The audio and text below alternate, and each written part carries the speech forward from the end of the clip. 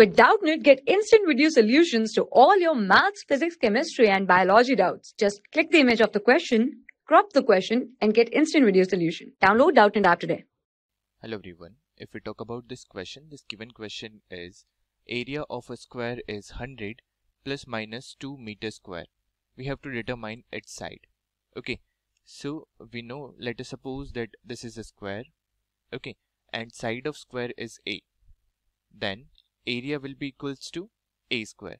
Now if I try to write its percentage error form then this will come out to be delta a by a into 100 and that will be equals to 2 times of delta a by a into 100.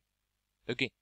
So we know that percentage error, this is the percentage error which can occur in the measurement of area. So 2 by 100 into 100. So this comes out to be 2%.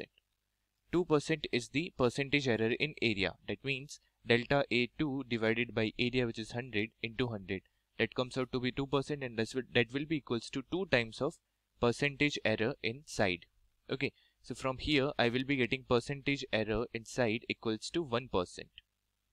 Equals to 1%. Okay, now if a square is given as 100 plus minus 2 meter square, okay, then a will be equals to 10 and plus minus since percentage error maximum percentage error in A is 1% and 1% of 10 is nothing but 0.1 so this will be 10 plus minus 0.1 meter so this will be the side of that particular square okay I hope you understood thank you For class 6 to 12, IIT JEE and NEET level.